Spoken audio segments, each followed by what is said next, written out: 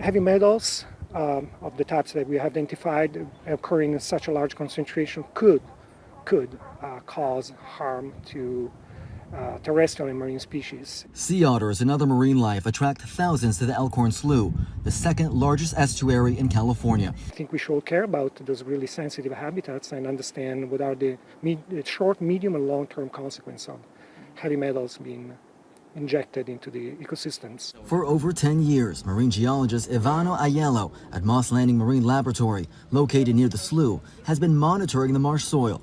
In the days immediately following the fire at the nearby battery storage plant, he's discovered high concentrations of heavy metals in the soil within a two-mile radius of the facility. You, you know, you can tell they are just parts of a battery. He says concentrations of nickel, magnesium, and cobalt have increased hundreds to thousandfold compared to data going back to 2023. Are they going to move through the soil? Are they going to move to the waterways? Are they going to move through the, the, the food web? Over the phone, we caught up with County Supervisor Glenn Church. My thoughts are concerning. Uh, these numbers are troubling, but I am I'm thankful that they're releasing this data. The County of Monterey, in partnership with Cal EPA, says it's also conducting tests on the soil. In response to the study, the County of Monterey wrote in part, We understand such findings may raise concerns among residents. Our goal is to provide clear, timely, and accurate information while avoiding unnecessary anxiety.